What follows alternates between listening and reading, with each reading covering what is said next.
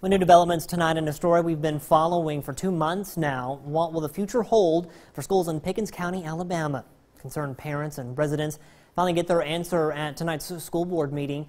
Our Quentin Smith, he was there. He has those details for the superintendent to recommend and the board to go for um, that shows the disconnect that they have with the community that they are supposed to serve. Terrence Wyndham is one of the many Aliceville residents who came out to the Pickens County School Board meeting pleading to board members not to make any changes to the Aliceville School District.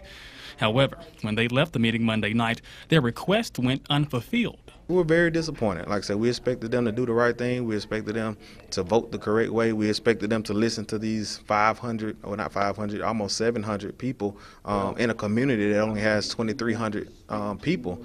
Um, that is disappointing that they don't want to listen to them. The main thing this board heard is our high schools, are our identities, and we want to do all we can to keep them. And uh, unfortunately, that meant doing some reconfiguration, and uh, that's where we're at.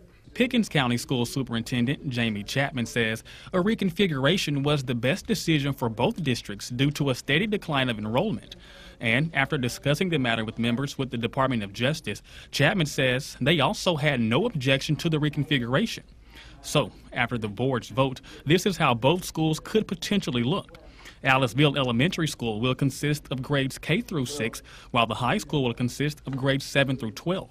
And in the reform area, Reform Elementary School will consist of grades K through 4, while the high school will consist of grades 5 through 12.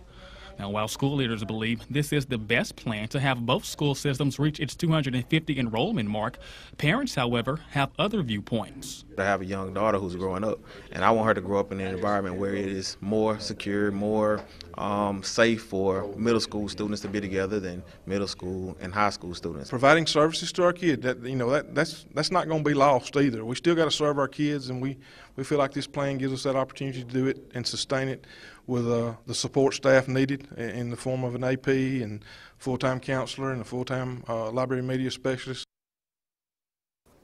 That was our Quentin Smith reporting. Now, even though the board voted to to the reconfiguration, a federal judge first has to approve this decision before it can be finalized.